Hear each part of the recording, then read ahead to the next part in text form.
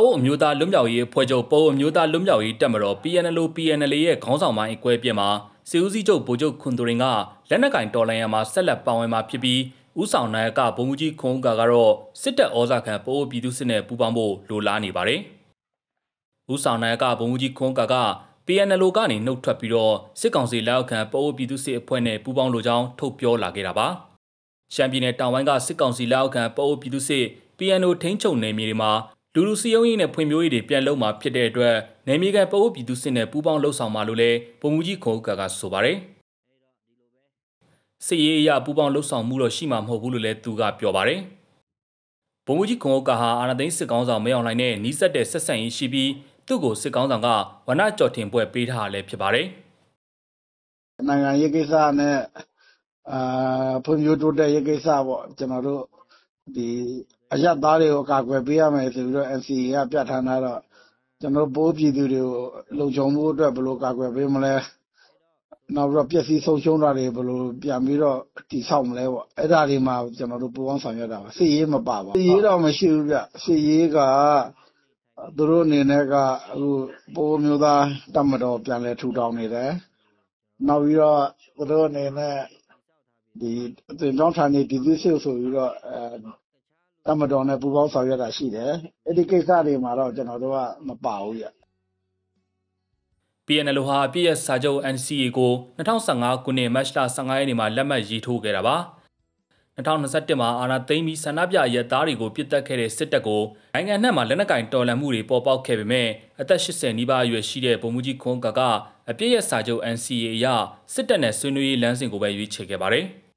ပြီးခဲ့တဲ့၃နှစ်ကျော်တွင်းမှာစစ်တပ်နဲ့တွေ့ဆုံပြီးရလက်မရေရတဲ့ဆွေးနွေးမှုတွေကိုလည်းလုပ်ခဲ့ပါတယ်။ PNLO PNL ရဲ့ဥက္ကဋ္ဌလည်းဖြစ်စီဦးစီးချုပ်လည်းဖြစ်တဲ့ဗိုလ်ချုပ်ခွန်တရင်ကတော့အပြည့်ရဲ့ NCA လမ်းကြောင်းမှာအခုနှစ်စံပိုင်းအထိပဲပါဝင်ခဲ့ပြီးအဲဒီနောက်စစ်ကောင်စီကိုစီးရေးရတိုက်ခိုက်နေတာဖြစ်ပါတယ်။ဗိုလ်ချုပ်ခွန်တရင်ဦးဆောင်တဲ့ပိုမျိုးသားလွတ်မြောက်ရေးတပ်မတော် PNL တပ်ဟာစစ်ကောင်စီထိန်းချုပ်ထားတဲ့ရှမ်းကယားနယ်စပ်ကစီဆိုင်မြို့ကိုယာယီသိမ်းပိုက်နိုင်ခဲ့တယ်လို့လက်ရှိမှာလည်းစစ်ကောင်စီတပ်ကိုဆက်လက်တိုက်ခိုက်နေတာပါ။ ဒီလိုအချိန်ဒီမှာ PNL ရဲ့နာယကယာတုကနေနှုတ်ထွက်ကြောင်းဗိုလ်မှူးကြီးခွန်ကကအခုလ10ရက်နေ့မှာကြော်ညာခဲ့ပါတယ်။ဆီယနာရှင်ကိုတော်လန်နေတဲ့ပုံအမျိုးသားလွတ်မြောက်ရေးအဖွဲ့ချုပ် PNL PNL အနေနဲ့ကတော့အဖွဲ့ကိုခေါင်းဆောင်9ဦးနဲ့ဦးဆောင်သွားမယ်လို့စက်တင်ဘာလ17ရက်နေ့ကဗဟိုလုံးမှုဆောင်ကော်မတီ2စီဝေးဆုံးဖြတ်ချက်ကိုထုတ်ပြန်ထားခဲ့ပါတယ်။ အဲ့ဒီဆုံးဖြတ်ချက်အပေါ်မှာဗိုလ်မှူးကြီးခွန်ကအနေနဲ့သဘောမကျတဲ့အတွက်နှုတ်ထွက်တာဖြစ်နိုင်ကြောင်းနဲ့ PNLO PNL အနေနဲ့ကတော့ရှမ်းပြည်တောင်ပိုင်းမှာအခြေပြုပြီးတော့ဆီယနာရှင်စန့်ကျင်ရေးဆက်လုပ်သွားမှာဖြစ်တယ်လို့အထွေထွေတွင်းရင်မှုဗိုလ်မှူးကြီးခွန်အောင်မန်းကပြောပါတယ်။သူတွေတနာအဖွဲ့တချို့ကတော့ PNL မှာတပ်အင်က400နဲ့အထက်ရှိနိုင်တယ်လို့ခန့်မှန်းထားကြပါတယ်။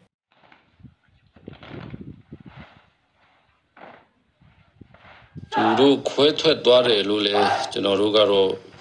အဲ့လိုလည်းမယူဆပါဘူးအဲ သဘောမထားဘူးပေါ့လေအဲသူတို့ကဒီကောင်းဆောင်ကြီး၅ဦးနဲ့ကာလတစ်ခုမှဥဆောင်သွားမဲ့အပေါ်မှာအဲတဘောတဘောမကြလို့သူတို့နှုတ်ထွက်ပြီးတော့မှအဲတီချာလှုပ်ဆောင်မယ်ဆိုတော့တဘောမျိုးလို့ပဲကျွန်တော်ကတော့အဲ့လိုယူဆပါတယ်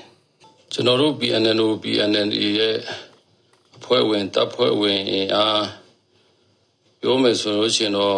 69ရာခိုင်နှုန်းကတော့ကျွန်တော်တို့အဖွဲ့ချုပ်မှာပဲဆက်လက်ပြီးတော်လိုင်းရေးတာဝန်တွေထမ်းဆောင်နေကြပါတယ်အဲတချို့ကောင်းဆောင်လည်းနှုတ်ထွက်ဖို့အစည်းအဝေးမှာတင်ပြထားတာမျိုးတွေတော့ရှိပါတယ်ကျွန်တော်တို့ PNNO PNNA ကတော့ချမ်းတောင်ဒေသမှာပဲကျွန်တော်တို့ဆက်လက်ပြီးတော့မှလှုပ်ရှားပြီးတော့ဒီတော်လာရေးမှာဆက်လက်ပါဝင်နေမှာဖြစ်ပါတယ်နိုင်ငံရေးလေလာသူပိုးလူငယ်တူကတော့ PNL ကနေနှုတ်ထွက်လိုက်တဲ့ဗိုလ်မှူးကြီးခွန်ဦးကမှာမဟာမိတ်မရှိနိုင်ဘူးလို့သုံးသပ်ထားပါတယ်။စစ်ကောင်စီရဲ့ပိုးပြည်သူစစ်အဖွဲ့ကလည်းဥခွန်ဦးကကိုကြီးကြီးပြူပြူလက်ခံမှုရှိမရှိကိုဆက်လက်ဆောင်ကြည့်ရမှာဖြစ်တယ်လို့လည်းသူကဆိုပါတယ်